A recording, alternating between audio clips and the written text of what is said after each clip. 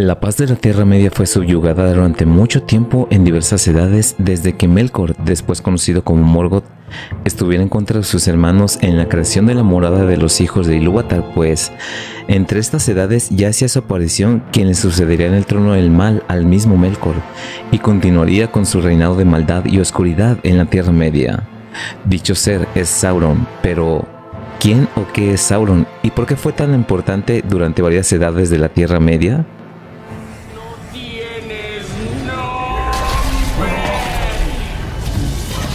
La respuesta a esta pregunta la sabremos analizando el origen, estructura y ser de este personaje, por lo que en este video hablaremos de Sauron, el Señor Oscuro.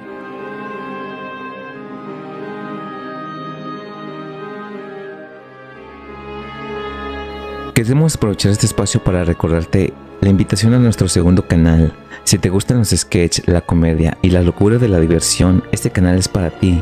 En la descripción de este video está el enlace a nuestro segundo canal.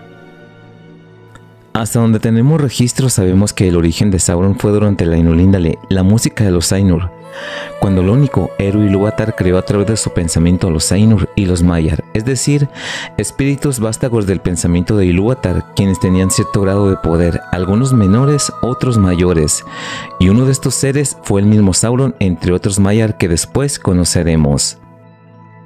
Como ya sabemos, aquí sucede la primera batalla del ser maligno que quiso hacer suyo el tema musical de Eru, y al final no pudo consumarse este deseo personal, sino que después de la creación de Arda, los Ainur que así lo quisieron bajaron a este mundo para moldearlo y darle forma para la llegada de los hijos de Ilúvatar, es decir, elfos y hombres.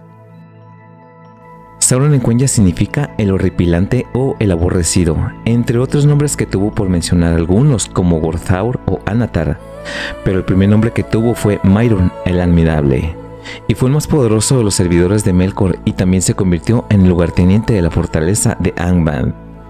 Mucho antes del inicio del mal, Sauron estuvo al servicio de Aule y como sabemos tiempo después fue corrompido por Melkor, quien posteriormente sería conocido como Morgoth.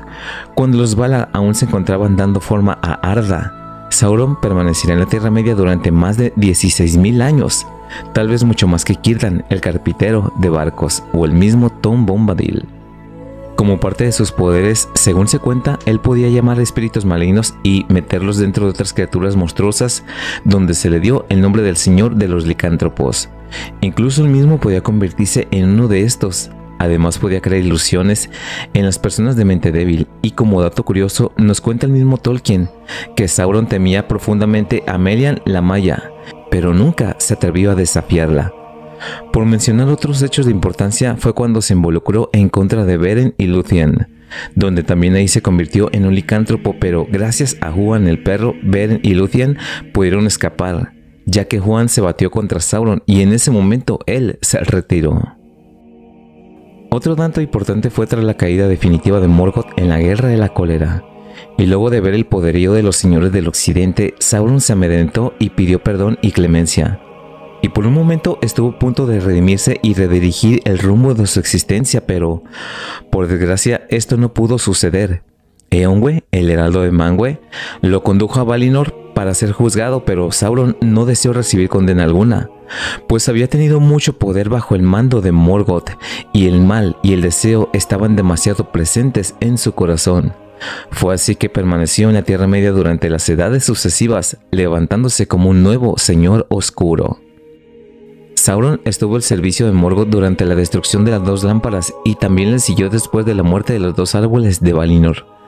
Tras la guerra de los poderes y la destrucción de Utumno, Sauron se escondió de los Valar y no pudieron hallarlo.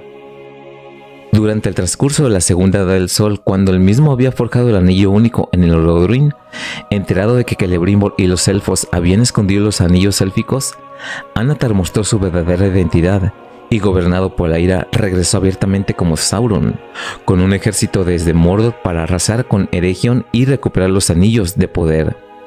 Y aquí es donde Celebrimbor encuentra su triste muerte como lo comentamos en el video de los tres anillos élficos. Enseguida de esto, Sauron extendió la oscuridad, dominando los hombres menores de la Tierra Media, quienes temerosamente lo veneraban como un dios que invadía Eriador, el cual caía bajo su poder y asolaba todo lo que se levantaba a su paso.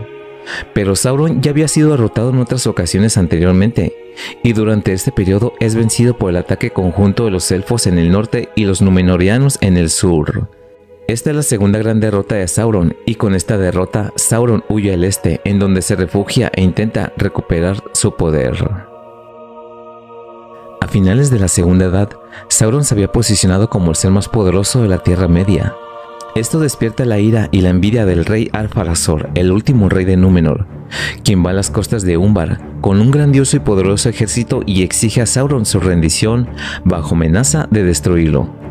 El Señor Oscuro acepta rendirse y es llevado como prisionero a Númenor. Sin embargo, otros eran los planes del Señor Oscuro y sus deseos eran infiltrarse en Númenor y persuadir al rey Alfarazor de venerar a la oscuridad, a desear la vida eterna, a rechazar a los elfos y los Valar, Así pues, nos cuenta el Silmarillion que con el tiempo Sauron se ganó la confianza del rey y corrompió su mente con la intención de vencer a la muerte, debido a la mortalidad de los hombres. Y Sauron engañó al rey, que solo podría conseguir inmortalidad si éste se levantaba en armas en contra de los Valar, por lo que tiempo después con un gran ejército se dirige a las costas de Tol Eressëa con el fin de invadir Valinor. La ira de los Valar no se pudo hacer esperar y acuden directamente con Ilúvatar, por lo que dicho acto de rebeldía no fue perdonado por Eru. Y este levanta una gran ola que provoca la destrucción y el hundimiento de la isla de Númenor, quedando para siempre en las profundidades del mar. Se sabe que Sauron perdió su forma física en ese suceso convirtiéndose nuevamente en un espíritu, es decir, que perdió la capacidad de tomar una forma física y hermosa de transformarse en Anatar para siempre. Pero su espíritu oscuro sobrevivió y regresó como viento maligno a la Tierra Media, aposentándose nuevamente en la Torre Oscura. Debido a la caída de Númenor, Sauron reaparece en el oeste de la Tierra Media aproximadamente en el año 1000, cuando se escondió en Dol Guldur la cual era una colina en el sur del Gran Bosque Verde, al cual sería conocido después como el Bosque Negro. Allí estuvo oculto por un tiempo donde los pocos seres vivos que vivían en la cercanía notaban una oscura y maligna sombra a la cual llamaron el Nigromante.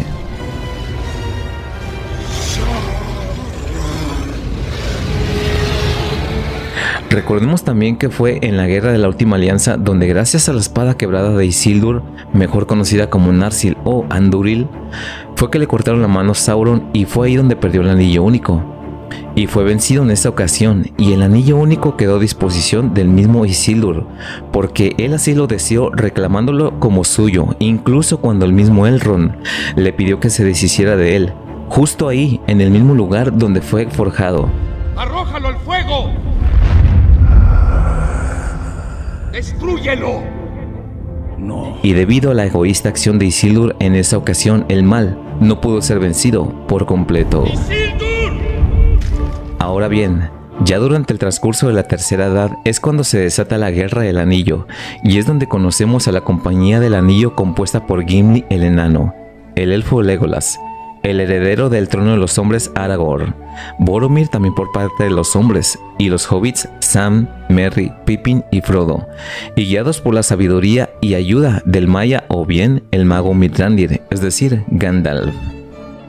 La guerra solo podía ser ganada por Sauron solo si él volvía a tener el anillo único, pero por desgracia para Sauron esto no fue posible ya que inconscientemente, pero gracias a Gollum, es que el anillo fue destruido al caer a la lava ardiente del Orodruin, junto con el mismo Gollum.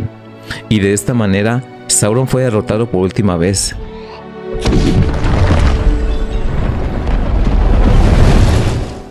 Hay que mencionar un punto muy importante, el cual es que Sauron sí fue vencido pero no murió de manera definitiva, sino que perdió toda capacidad de tomar cualquier forma corpórea. Como en edades anteriores lo hacía como parte de sus poderes. De manera pues que Sauron volvió a su naturaleza de espíritu maya de origen, sin tener la posibilidad ni la fuerza ni poderes de volver a acechar la paz de todo ser vivo en la Tierra Media. Y, con la derrota del Señor Oscuro, llegó la paz nuevamente para todos los pueblos libres. De esta manera, inició la cuarta edad del Sol, la cual es el inicio de la edad de los hombres. Y así el tiempo fue transcurriendo, pasando por la quinta y la sexta edad, en la cual se podría decir que justo en este momento nosotros mismos estaríamos entre la sexta o séptima edad del Sol. Pues recordemos que según Tolkien es en nuestro mundo donde todo lo vivido en su mitología ocurrió en tiempos pasados aquí mismo en nuestro planeta.